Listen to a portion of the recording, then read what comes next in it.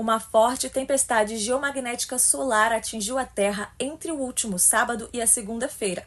O fenômeno foi intenso bastante para poder ter afetado transmissões de aeronaves e até mesmo frequências de rádio. Em uma escala de 1 a 5, a explosão solar chegou ao nível 4, tendo sido a maior desde 2017, segundo informações do Centro de Previsão do Clima Espacial. Entretanto, o fenômeno não representou riscos concretos e acabou por ampliar as auroras boreais na Europa.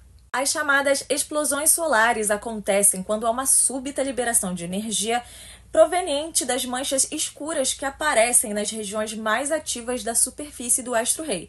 Elas são uma ameaça a aparelhos eletrônicos e até mesmo à internet. A mais forte delas ocorreu em meados de 1859, no chamado Evento de Carrington, quando o Sol expeliu em direção à Terra gás e energia equivalentes a 10 bilhões de bombas atômicas.